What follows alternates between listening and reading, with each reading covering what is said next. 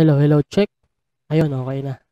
So, 2019, ang huling bisita ko sa Baguio. And then, dumating yung pandemic.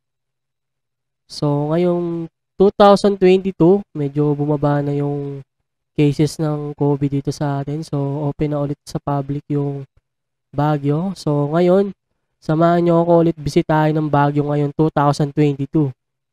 Let's go! So, around 7.30 a.m., sumakay kami ng bus sa PITX. So, yung sinakay naming bus is yung Solid North Transit. So, pagdating mo sa upuan mo, una mo mapapansin yung individual bus pad na pwede kang mag, mag-games. Meron din siyang charging USB port. And then, sa upuan, talagang napaka-solid talaga. So, meron siyang spacious legroom na pwede ka magkuyako hanggang gusto mo. Meron din palang onboard restroom sa bus na struggle kasi kailangan mong kumapit ng maayos kasi masusubsob pa pag hindi ka kumapit.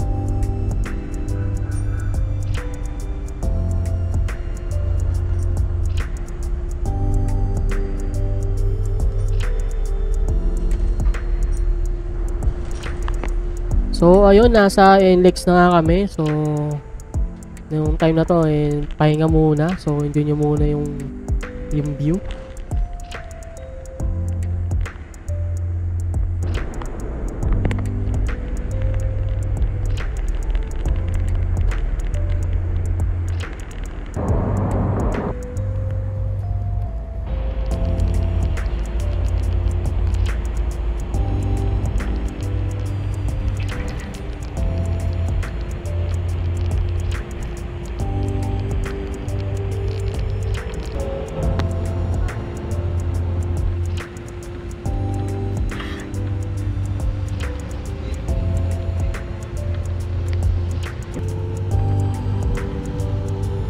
At ito na nga, nakarating na kami ng Baguio after many many hours. Ito rin yung gusto kong part pag pumupuntang Baguio eh, yung magandang tanawin, yung malayo sa sa syudad na maraming mga building yan, na nakaka-relax.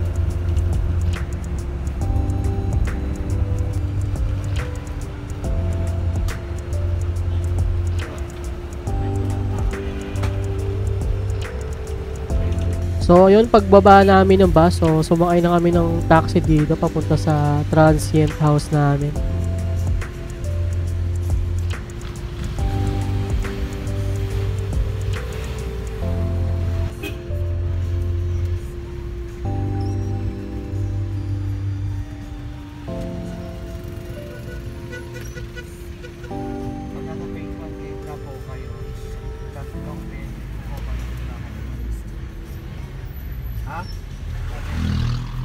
At ayun, nakarating na nga kami sa transient house namin. So, dito pa lang sa kalsada, kitang-kita mo na ang ganda ng view.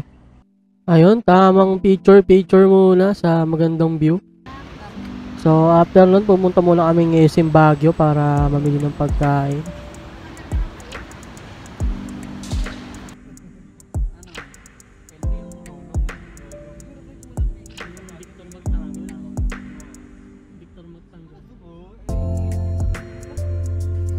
Then, after namin mag-dinner, syempre, di mawawala yung inuman, yun, yung tamang kwentuhan.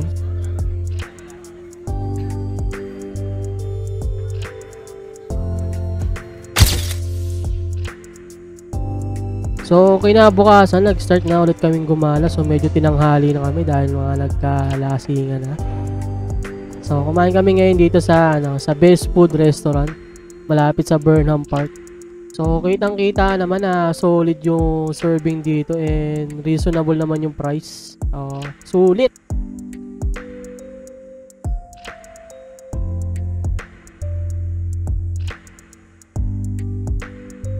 So, after nun, tamang gala muna kami sa ano, Burnham Park. Ah, sila, nag-rent sila ng boat. Oo, tamang picture-picture lang ako dito.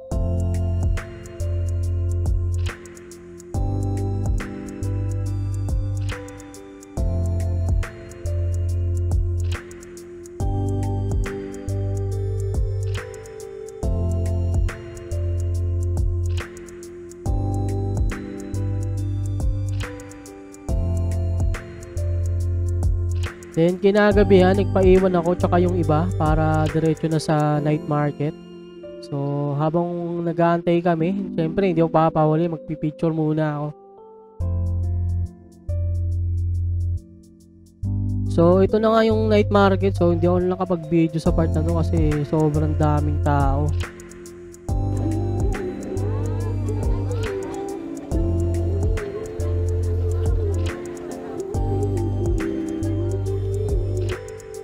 Then kinabukasan, syempre gala ulit.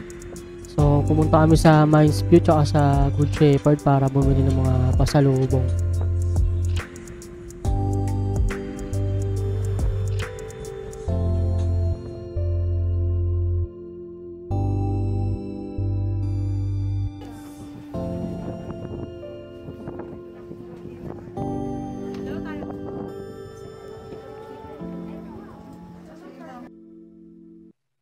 At syempre, pagkatapos na, ano na, uwi na. So, medyo nakakabitin lang. So, masasabi ko sa biyahe namin dito ngayon sa sa Baguio is syempre, kailangan mo din dapat ah makapag makapag-relax paminsan-minsan yung malayo sa stress.